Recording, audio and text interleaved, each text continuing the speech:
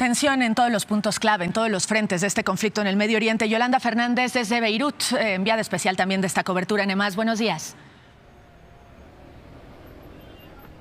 Hola, ¿qué tal, Dani? Bueno, pues aquí la respuesta a este ataque fueron nuevos bombardeos que se producían en la madrugada en los suburbios del sur de Beirut, el feudo de Hezbollah.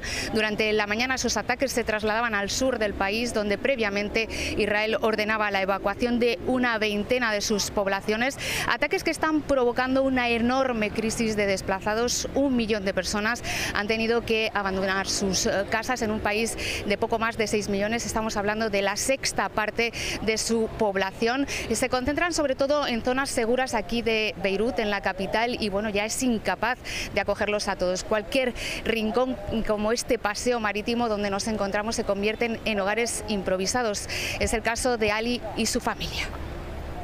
Gracias, muchas gracias, eh, Yolanda. Estamos al pendiente también en este frente de la cobertura abierta.